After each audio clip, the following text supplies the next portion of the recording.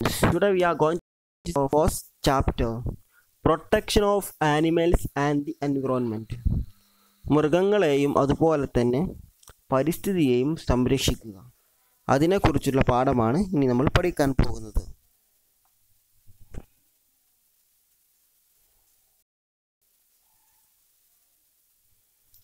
We are forcibly taking away the homes of wild നമ്മളിൽ പലരും വളരെ വോയിസോട് കൂടി മൃഗങ്ങളുടെ വന്യജീവികളുടെ വാവാസ സ്ഥലങ്ങളെ we are cutting down forest to build our homes മാത്രമല്ല മരങ്ങൾ വെട്ടി നശിപ്പിച്ച് നമ്മൾ നമ്മളുടെ വീടുകൾ നിർമ്മിക്കുന്നു. Wild animals go if they have no home to ഇങ്ങനെയാകുമ്പോൾ എവിടെയാണ് വന്യജീവികൾക്ക് പോവേണ്ടി വരിക? ശരിയല്ലേ? ഇപ്പൊ പിക്ചറിലേക്ക് തന്നെ നോക്കൂ. ഒരു കടുവ കാട്ടിൽ നല്ല സന്തോഷത്തോടു കൂടെ ജീവിക്കുന്നു.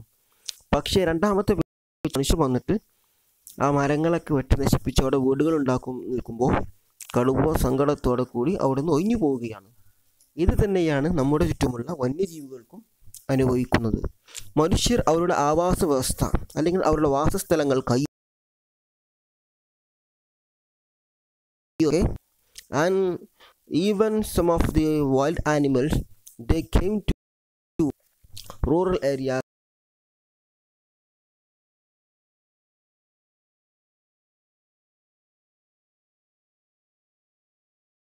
ഇറങ്ങി വന്ന് ആളുകളെ ഉപദ്രവിക്കാറുണ്ട്. Then we should take proper care of animal അതുകൊണ്ട് തന്നെ ചുറ്റുമുള്ള ആനിമൽസിനെ വളരെ ശ്രദ്ധയോടുകൂടെ അവയെ പരിപാലിക്കണം. Caring for domestic and pet animals. മൃഗങ്ങളെ സൂക്ഷിക്കൽ. ഒന്ന് domestic animals should be given proper shelter വീട്ടിൽ വളർത്തുന്ന മൃഗങ്ങൾക്കാണ് ഡൊമസ്റ്റിക് ആനിമൽസ് എന്ന് പറയാം. Should be given proper shelter അവർക്ക് യോജിച്ച സ്ഥലം എന്നുള്ള ഒരു ഷെൽട്ടർ ഒരു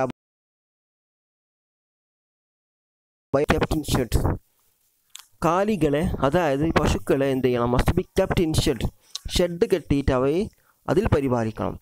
Horses must be kept in stables അത് കുതിരാലയങ്ങളിലാണ് അവയെ തളിക്കേണ്ടത്. Hens must be kept in close cold coops coops എന്ന പേരിൽ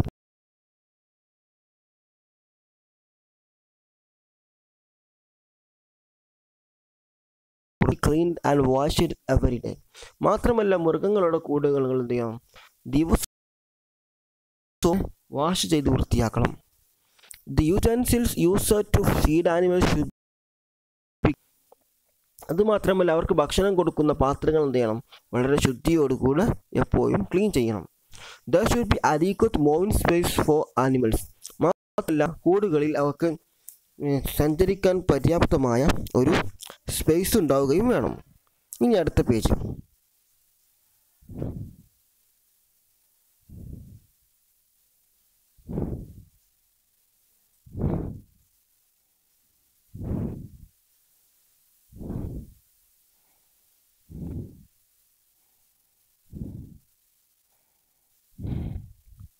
animal should be given healthy food and clean drinking water മാത്രമല്ല മൃഗങ്ങൾ വെള്ളമാണ് നൽകേണ്ടത്. Cattle reared for milk and those animals which are use to do heavy work should be given proper diet മാത്രമല്ല പാലിനും അതുപോലെ തന്നെ ഭാരം ചുമക്കാൻ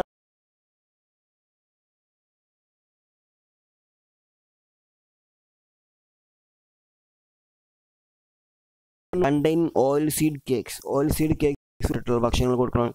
ഗ്രെയിൻസ് ധാന്യങ്ങൾ ഉൾപ്പെട്ടിട്ടുള്ള ആൻഡ് കോട്ടൺ സീഡ്സ് പൈപ്പുകൾ നടക്കിയിട്ടുള്ള ഇതെല്ലാം അവർക്ക് കൊടുക്കണം.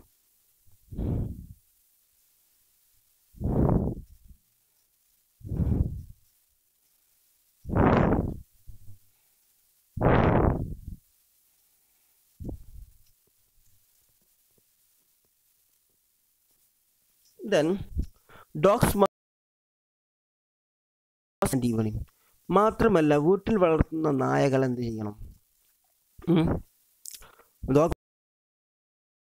മോർണിംഗ് ആൻഡ് ഈവനിങ് വീട്ടിൽ വളർത്തുന്ന നായകളെ രാവിലെയും വൈകുന്നേരം അവയെ നടക്കാൻ കൊണ്ടുപോകണം. അവയ്ക്ക് ഒരു എക്സസൈസിന് വേണ്ടി അല്ലെങ്കിൽ അവർക്ക് എന്ത് ചെയ്യും? പല പലരും നായകളും ചത്തുപോകും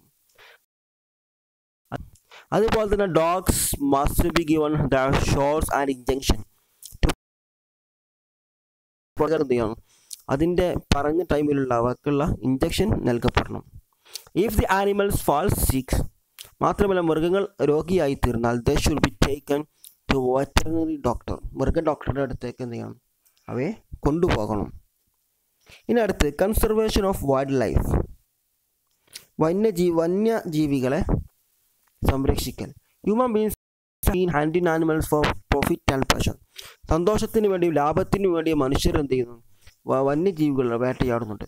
The kill animals such as elephant snakes crocodile and rhinoceros for profit ലാഭത്തിന് വേണ്ടി ആന പോലത്തെ അല്ലെങ്കിൽ പാമ്പുകളെ പോലത്തെ ക്രൊക്കോഡിൽസ് മറ്റേ എന്താണ് ക്രൊക്കോഡിൽസ് എന്ന് പറഞ്ഞാൽ മുതലകളെ പോലത്തെ അർജോസിസ് കണ്ടാമൃഗത്തെ പോലത്തെ മൃഗങ്ങളൊക്കെ ലാഭത്തിന് വേണ്ടി മനുഷ്യർ എന്ത് ചെയ്യുന്നു? കൊന്നു തള്ളാറുണ്ട്. The tusks of elephants are used to make ivory ornaments ഉപകരണങ്ങൾ പിക്ചറിൽ കൊടുത്തതുപോലുള്ള ആനക്കൊമ്പ് ഉപകരണങ്ങൾ ഉണ്ടാക്കാൻ വേണ്ടി എന്ത് ചെയ്യുന്നു? ആളുകൾ എന്ത് ചെയ്യുന്നു?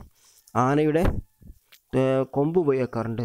The skin of animals such as a snakes and crocodiles is use to make handbags and wallets കൈ ബാഗ് എന്താണ്? ഹാൻഡ് ബാഗ്സുകളും അതുപോലെ തന്നെ മറ്റും ഉണ്ടാക്കാൻ വേണ്ടി ക്രൊക്കോഡിന്റെയും സ്നേക്കിന്റെയും ആളുകൾ എന്ത് ചെയ്യുന്നത് തൊലി തൊലി ഉപയോഗിച്ചുകൊണ്ട് ഇത്തരം ഉപകരണങ്ങൾ ഉണ്ടാക്കാൻ വേണ്ടിയിട്ട് സ്നേക്കിനെയും ക്രൊക്കോഡിൽസ് മുതലകളെയും ആളുകൾ കൊന്നു തള്ളാറുണ്ട്. Rhinos are hunted for their horns മാത്രമല്ല കണ്ടാമൃഗം പിക്ചറിൽ നോക്കൂ. കണ്ടാമൃഗത്തിന്റെ ആ മുന്നിലുള്ള ആ കൊമ്പിന് വേണ്ടി ആളുകൾ എന്ത് ചെയ്യുന്നു? അതിനെ വെട്ടി ആളുകളുണ്ട്. അതുകൊണ്ട് തന്നെ many species of animals have greatly reduce in number and are at risk of becoming extinct അതുകൊണ്ട് തന്നെ many species of animals have greatly reduce ഒരുപാട് ഐറ്റം മൃഗങ്ങൾ ഈ തരത്തിൽ കൊന്നു കൊല്ലുന്നത് കൊണ്ട് തന്നെ കുറഞ്ഞിട്ടുണ്ട് ഈ നമ്പർ അവരുടെ എണ്ണത്തിൽ.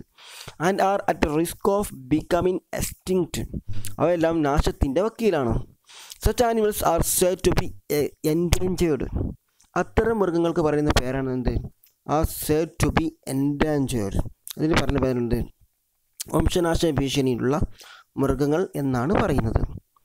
Animals such as a rhinoceros tiger and lion are endangered മാത്രമല്ല animals such as a rhinoceros കണ്ടാമൃഗം പോലത്തെ മൃഗങ്ങൾ ടൈഗർ കടുവ പോലത്തെ ആൻഡ് ലയൺ സിംഹങ്ങളൊക്കെ ആർ എൻഡേഞ്ചർഡ് ഇവയെല്ലാം വംശനാശ ഭീഷണിയിലാണ്.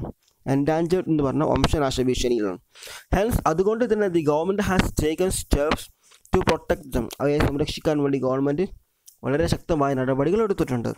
These animals are now protected under the law ഈ മൃഗങ്ങളൊക്കെ ഇന്ന് നിയമം സ്ഥാപിച്ച നിയമാനുസൃതം ഇന്ന് ഇവകളെല്ലാം സംരക്ഷിച്ചു പോരുന്നു. It is punishable act kill wild animals for their products ഇത്തരം മൃഗങ്ങളെ പല ഉപ ഉപ പല ആവശ്യങ്ങൾക്കും ഉൽപ്പന്നങ്ങൾക്കും വേണ്ടി കൊല്ലൽ ഇന്ന് കേരളത്തിൽ വളരെ അല്ലെങ്കിൽ ഇന്ത്യയിൽ വളരെ കുറ്റമുള്ള കാര്യമാണ്. ഈ പിക്ചറിലുള്ള മൃഗങ്ങളൊക്കെയാണ് എന്ത് വംശനാശ ഭീഷണിയിലുള്ള മൃഗങ്ങൾ എസ്റ്റിങ്ക്റ്റ് എൻഡാഞ്ചേർഡ് എന്ന് പറയുന്നത്. ഓക്കെ ഇനി അടുത്ത പേജ്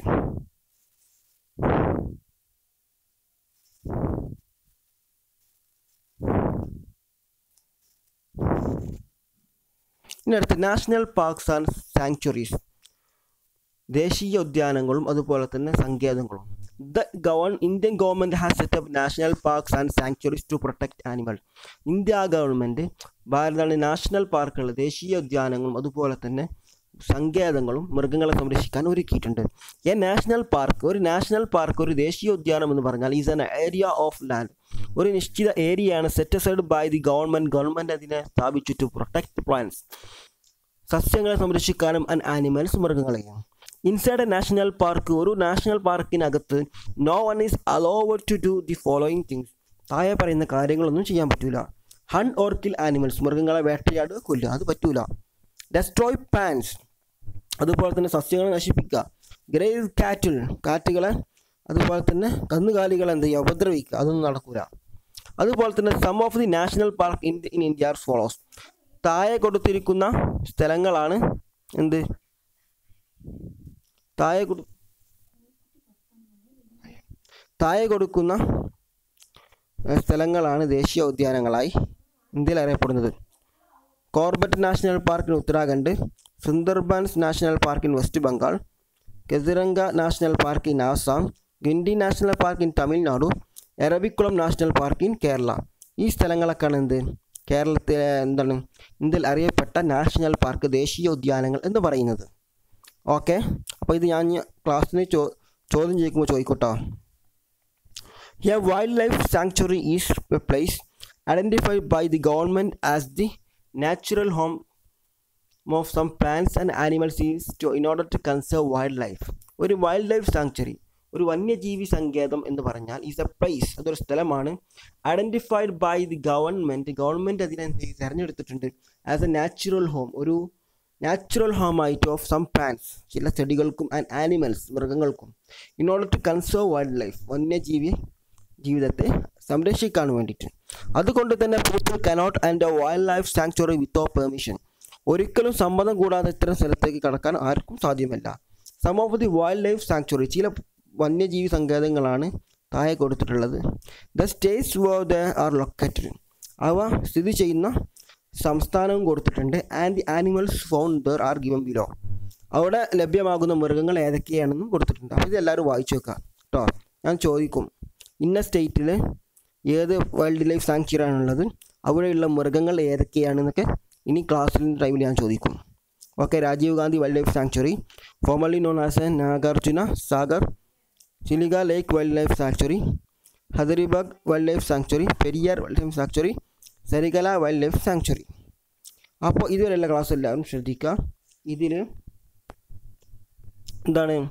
ആ പാഠത്തിന്റെ ഹെഡിങ് എഴുതിയിട്ട് caring of domestic and pet animals എന്ന നൂറ്റി അറുപത്തി മൂന്നാമത്തെ പേജിത്തെ ആ ഭാഗം എല്ലാവരും എഴുതുക. ആ എട്ട് വരെ എഴുതട്ടാ. Okay have a nice day